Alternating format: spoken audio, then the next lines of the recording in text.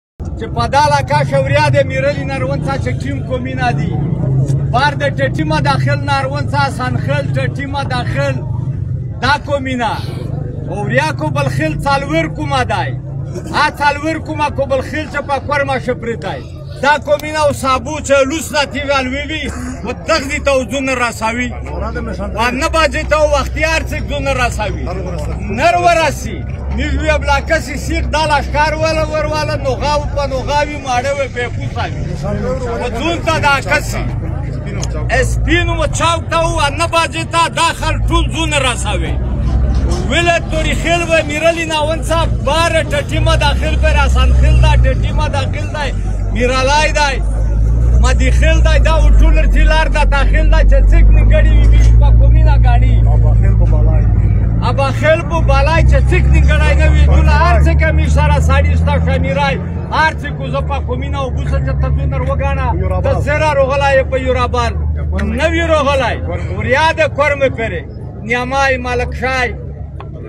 په پالای سای پالای دا څلور کومین اوریاد یا هر څک دا وروي چې سبو دا روش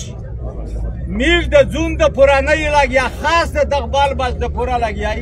ا دغ پاکستان نامي رامن غوړي امن پاکستان لګیای نه د چانا غاټه غوړي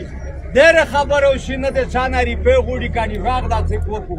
خپل جیب نری په لګاوي خپل لیږدي غشراوي خو چې څه پر مړه نوي ژوندي وي دا دته او میو دا ډل لغاس وایي چې څه پر امن میو تر کړای نه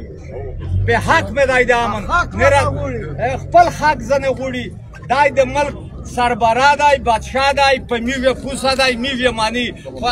د حق مې په د امن مې په حق دای دای ورکوي